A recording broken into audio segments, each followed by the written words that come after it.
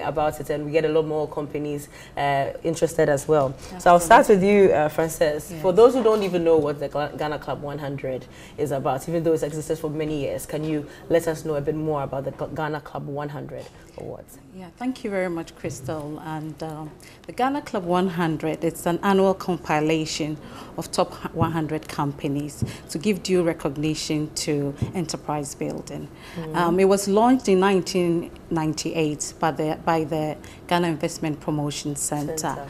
And um, it serves as a platform for corporate ex excellence. Mm. Um, as well as serving as a platform for corporate excellence. Um, ranked companies are supposed to serve as role models for the private sector Ooh. and also as a platform for engaging governments uh, at the highest level. Okay. Yeah, so in a nutshell, that's what the Ghana Club 100 is about. Mm, it's about corporate excellence, excellence, and recognition of top successful um, companies. companies. So it means that a, a, lot of corporate institutions would be looking forward to being placed in the top 100 in Ghana. Absolutely. How, how are entries, uh, how, do, how do you get your entries? How many companies actually um, apply for this? Do they apply? What's the process like? Yeah, averagely we get um, plus or minus um, 200 submissions okay. or entries and um, yeah, so 200 yeah, plus or minus yeah, okay. in a year. So that's the submissions we get, and it's actually handed over to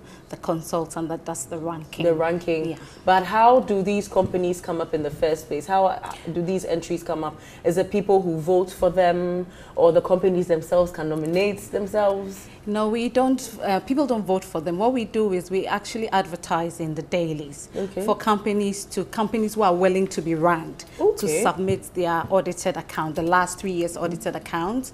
So, I mean, once they submit it, we collate it and forward it to the ranking consultant. So that's how we go about it. It's mainly through advertising. Advertising. Yeah. So simply, it's the, the, company should be willing to be ranked. Absolutely, absolutely. So it's okay. not mandatory; it's right. a voluntary thing, okay. and we actually encourage them to submit themselves okay. for ranking. That's good to know. And with all these kind of uh, you know events and award schemes, they, they come with themes. And so this year, do you have any theme that you're, you're going by, and how do you, how did you select that theme as well? I'm very interested to know. yeah, okay. this year's theme is uh, sustainable agriculture, mm. the bedrock to Ghana's industrialization drive. Okay. Uh, the theme fits into government's uh, agenda to move Ghana away from uh, an import-dependent country, country exactly. to an export-oriented country. Mm. So um, that is one of the reasons why we choose this uh, uh, this theme. Yeah. Previously, we had chosen themes like innovation, mm-hmm. technology, mm -hmm. you know, to assist in industrialization. And then another uh, theme that we used previously was uh, centered around industrialization for job creation. Okay. Ghana is an agricultural uh, country. Yeah. We are more dependent on agriculture. But we cannot continue in this way of agriculture. Yeah. We need to turn our agro produce into uh, processed uh, products yeah. for export so that we can manage the economy much better so that our imports do not continue to exceed our, our exports. Oh, right. So these are reasons why we have chosen this, this theme for this year. Okay. Now you see government has policies on one village, one dam, yeah. uh, one district, one factory, factory, and all these. These yeah. are uh, policies aimed at driving the economy from where it is mm. to another stage. And so uh, a concerted effort to help support this vision of government okay. is one of the reasons why we are choosing this team. Okay. And uh, we are making efforts to also support the one district, one factory. Factory. Uh, I want to understand how the theme actually uh, affects the award scheme. Is, uh, do you select uh, companies that are working in the agricultural sector this time around? How, how does, how, what's the correlation? Well, we, it's not only um, the agricultural sector. Okay. The award covers the entire range of the value chain in the, in the business uh, okay. environment. So we award agriculture, yes. We award finance, okay uh, the banking and finance sector. We award uh, techno um, technology mm -hmm. sector, that is the ICT sector. Yeah. And then we award um, uh, all the other health and uh, health and education, Yeah. uh, tourism, and all that. So it's not only uh, the agri sector, Okay. but this year that is the focus All right. that we want to to develop the agri sector Yeah. so that uh, to dovetail into all the other sectors. Okay. If we have a strong agro sector that can produce more raw material, Yeah. then the manufacturing sector will take Also up raw material from there, Yeah. and then they will also thrive. Yeah. Then the financial sector will That's also true. benefit Yeah. through uh, financial exchanges. So th- these are some of the reasons. why. Reasons. And what, what, what is the objective uh, of the Club 100 this year? What's, what's the objective? The main objective is to create a platform Okay. for thriving businesses in Ghana to be able to engage government at higher levels. Okay. Now, these Club 100 members, there's something we call the breakfast series, which we developed at the GIPC. Yeah. Every quarter, we have the breakfast series, the uh, Ghana Club 100 member CEOs Yeah. breakfast series. Now, at this uh, forum, the GIPC operates under the office of the president. So, at our functions, we have the privilege of having government officials uh, Okay. attend. Attend, yes. So, at, the, at that, on that platform, Yeah. private businesses are able to air their grievances Right. or to discuss the difficulties that, that is confronting them in their various sectors And it's not limited to award winners. not only to, to the award. Okay. Well, but the breakfast series is for the club members. Oh, right. Right. For the club members. And then we table various uh, challenges that are confronting businesses yeah. for discussion. And then government listens. And for instance, about three years ago, there was a policy on uh, forex, forex policy, that says that you cannot withdraw more than ten thousand Yes, dollars and stuff from yeah. counter. Yeah. So we that topic became uh, was brought to table for discussion.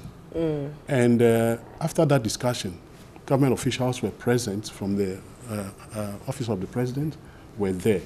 And believe me, a week after, the policy was, was reviewed. Oh, oh, wow. Interesting. So they are able to gain such access to, to, to, Mm. Okay. to government. Yeah. That's quite direct. I just want a bit of clarification, though. You mentioned club members.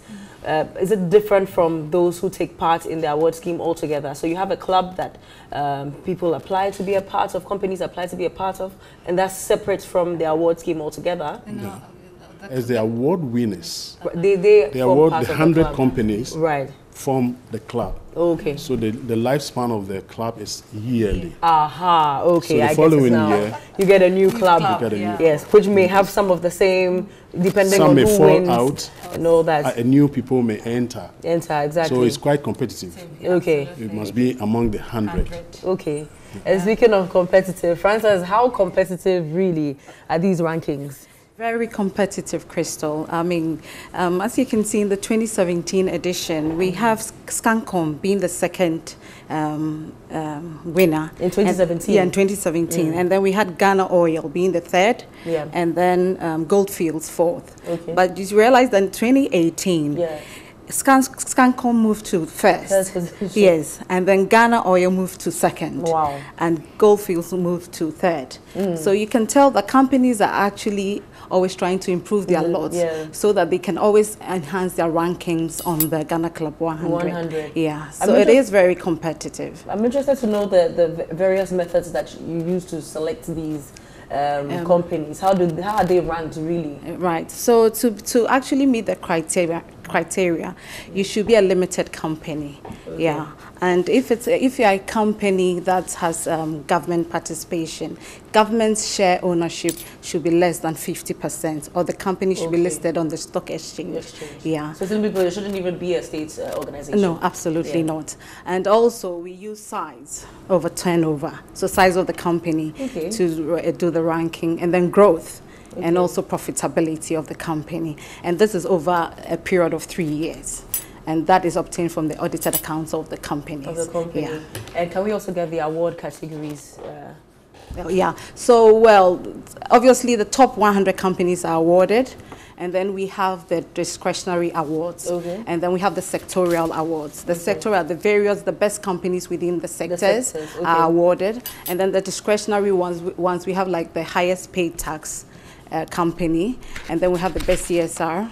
and then we have the profitable company, okay. yeah, and then we have. Um, uh, which other one do we have? We have the best listed company mm. as well. So these are some of the, the companies, companies, that we award during the Club 100 mm. and anytime, award ceremony. Anytime we talk about awards, yeah. there's always an issue of credibility. Some people don't even want to take part of it, part in it because they think it's not credible. Mm -hmm. You know, uh, winners will not be selected on the right basis. There may be partiality and so on. and So Tom, how credible really is this Ghana Club 100? Very credible. How? Number one. Uh, companies who submit uh, do that voluntarily, number one. They do that vo voluntarily. Mm. Then, so there's no coercion. Okay. All right. So it's not subjective, it's very objective.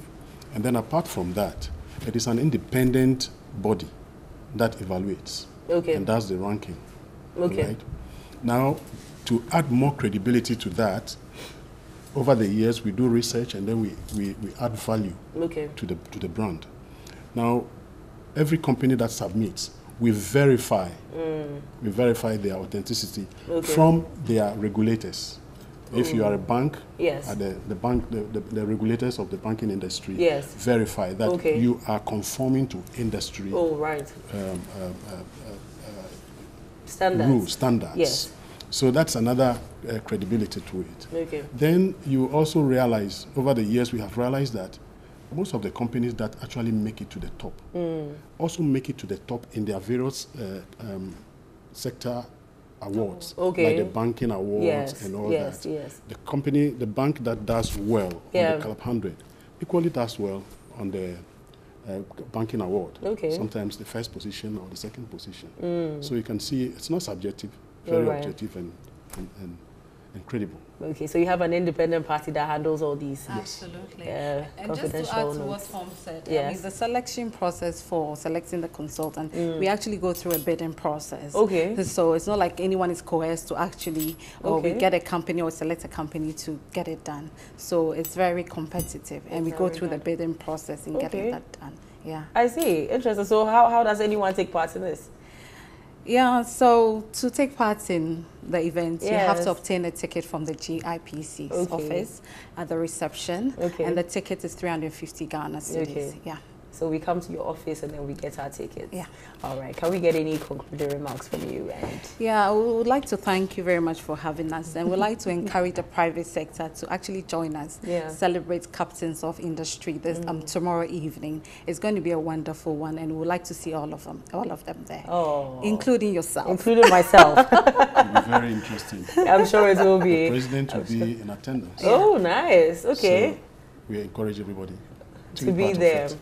All right. Yeah. So it's the 18th edition of the Ghana Club 100 2019 Awards happening tomorrow. Um, at what time? 6, 6 p.m. Yes, at the Gold Coast Kempinski Hotel. It's happening tomorrow. You don't want to miss out on this one, especially if you're a businessman or businesswoman. It also opens up networking uh, opportunities for you, so don't miss out on it. You can get your tickets at the GIPC office, and uh, if you need to know any more information, just uh, log on to the GIPC website and you'll be sorted.